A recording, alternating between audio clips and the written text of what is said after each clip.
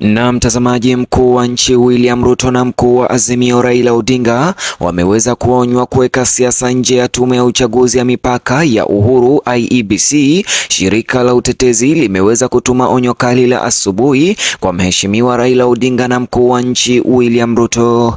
Upinzani na utawala wamehimizwa hata hivyo kuingilia na kuhusika kati ya uchaguzi wa sasa wa makamishna wa IEBC na shirika la wanaharakati la ILOG. Shirika hilo la utetezi liliwataka Raila na Ruto kushiriki katika mazungumzo ya pande mbili ili kukamilisha mchakato huo, huku wakikiri athari za kisiasa na wasiwasi kuhusu uchaguzi wa makamishna wa IEBC. Siasa nyingi zinazozunguka utaratibu huo zitasababisha jopo zima kuamua kusitisha, kulingana na shirika la ushawishi linaloongozwa na Ann Irar, rais wa kundi hilo, ili, ili, ili pande zote za suala hilo zifikie makubaliano. Sasa wameuliza na kutaka kwamba majadiliano ya bipartisan yaendelee. Haya yanajiri wiki moja tu baada ya Azimio kutakiwa kuanza majadiliano kuhusu suala hilo hilo na kikosi cha, cha Kenya Kwanza na Azimio. Hata hivyo, kabla haijachelewa, Raila anahitaji kupokea simu hiyo kama Wakenya hatutaki baadaye kudai kwamba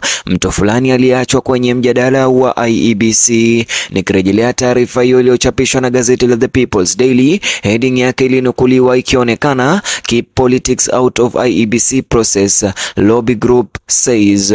Je, mtazamaji, maoni yako ni yapi kuhusiana na suala hili? Na kuachia uwanja huu wa comment section, kumbuka kulike video hii na kusubscribe kwa taarifa zaidi.